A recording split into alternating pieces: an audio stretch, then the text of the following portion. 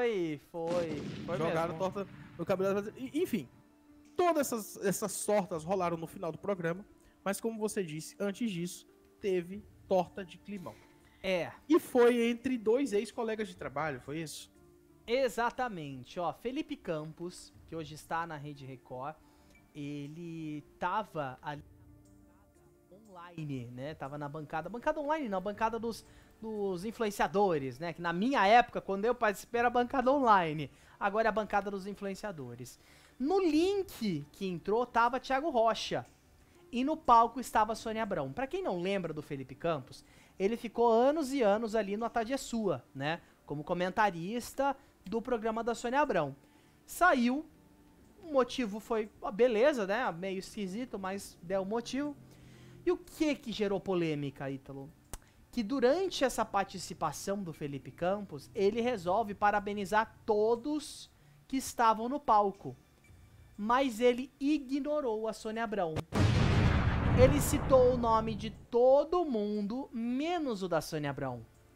E aí, ó, nesse momento a gente percebe, ó, ela tá de rosa à esquerda ali do vídeo, ela tá olhando pra baixo, olhando na ficha. Nós temos o áudio, vamos ouvir. Tirulipa, Flor, Marley, enfim, todo mundo aí no palco fazendo a maior farra, porque Pix, pessoal, é a frase mais, é a palavra mais amada é. no Brasil.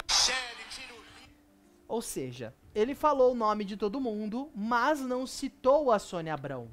E a internet, é claro, ficou questionando, né, o que, que tinha acontecido para que ele não citasse. Depois resgataram também um vídeo ali, Ítalo, de quando o, o Felipe tava apresentando, ele tava, tava num podcast e tudo mais. E aí questionaram, ah, quando que a Sônia Abrão vem? E aí ele responde, nunca. Nunca. É, é muito esquisito, né? O Felipe Campos deixou a Rede TV para trabalhar na Jovem Pan, né, em 2022, ficou menos de um, um ano lá. Agora ele trabalha na Record, né, apresentando esse podcast, o Link Podcast. Fala que não teve nenhuma des- desavença, né, mas esse clima é esquisito entre eles, né? Porque ela já estava na defensiva, olhando para a ficha, não estava olhando para a câmera como os demais, e ele ignora completamente o nome dela. Será que essa saída dele foi mal vista pela Sônia? Será que ela não queria que ele saísse? Será que ele saiu porque já estava brigado com ela de alguma forma? Porque assim, a gente via eles no ar, não parecia ter nada, né? Mas depois dessa saída dele, é, parece ter sido alguma coisa bem conturbada, até porque ele saiu da Rede TV para Jovem Pan, foi para Jovem Pan e não, não ficou lá nenhum ano. Será que teve alguma treta lá na Jovem Pan também? É difícil a gente saber. Observa aí nesse momento, olha, tava todo mundo olhando para ele, né? E quem não tava olhando para ele tava olhando para frente. A Sônia era a única que olhava para baixo, tava cabisbaixa ali, olhando para, olha lá. Ó, Tirulipa olhando para frente, ali a, a Michele Barros que tá ali no cantinho, né? A própria, a Cher.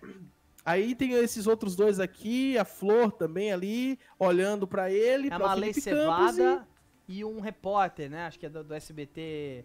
Eu sei que ele é, ele é João Pessoa, não me lembro a cidade, de- a região dele, na e... verdade. Eu não, eu, eu não, eu não vi esse momento, então realmente pra mim fica um pouquinho difícil. E pela fisionomia eu não tô reconhecendo, mas a Sônia Abrão é a única que tá olhando pra baixo, né? Você pode perceber aí que ela já tá com esse sinal de que é alguma coisa e ele ignora, pula o nome dela. Então, assim, não é uma briga que vem só de um lado. Os dois lados estão tretados aí por alguma razão. Eles não quiseram fingir né, ali fazer a, a, como a gente sempre fala aqui, né, a política da boa vizinhança, né? Com certeza, e sabe uma coisa que eu queria falar, é, não só pro Felipe, enfim, eu achei a Sônia muito profissional. Você aí de casa, goste ou não, porque sempre a gente recebe hate a respeito disso aqui, eu achei ela muito profissional em. Beleza, não foi citada, maravilha, vida que segue. Mas eu achei de tanta deselegância do Felipe Campos. Sabe por quê? Independentemente de ter acontecido uma treta nos bastidores, independentemente de ter acontecido alguma coisa entre ele e a Sônia Abrão, entre ele e o Elias, entre ele e a produção da Rede TV, a gente não sabe. Independentemente disso, eles estavam lá com uma única proposta, com um único objetivo: atrair, perdão, atrair doações para as crianças da AACD. Não era o momento de dar uma alfinetada, não era o momento de ser é, é assim, ríspido, né? Eu achei que foi uma falta, uma deselegância da parte dele, como Sim. a Sônia Abrão. Se rolou uma treta, se rolou alguma coisa, não cite o nome de ninguém. Seja profissional também. E eu não achei que nesse momento ele foi. Olha, Felipe, lamento, mas não achei que você foi profissional nesse momento. Podia ter sido mais delicado. Você não tava ali nem para se promover, nem para levantar a bola ou abaixar a bola de ninguém. Você tava ali nem para falar muito, porque se fosse para você falar tanto, você tava no palco. Você não tava na bancada, né? Era para conversar ali com o pessoal, mas não, né, falar tanto. Independentemente de tudo isso, o objetivo era atrair doações para as crianças do Teleton. Eu achei que foi de tamanha deselegância, sabe? E também um desrespeito com a própria Sônia Abrão, porque ela tava ali sem ganhar nada. Você também tava lá sem ganhar nada, né? Ambos estavam ali sem ganhar nada. Por que, que a gente vai, né, pro Teleton? Por que, que as pessoas vão pro Teleton? Usar a imagem delas, a credibilidade, o veículo delas para incentivar mais pessoas a doarem pro Teleton. Reforço aquilo que eu falei, Ítalo, na sexta-feira, no final do nosso programa aqui. Se uma pessoa falar que doou pelo menos um centavo ouvindo o nosso apelo aqui do Papo de TV, eu já me considero uma pessoa muito feliz.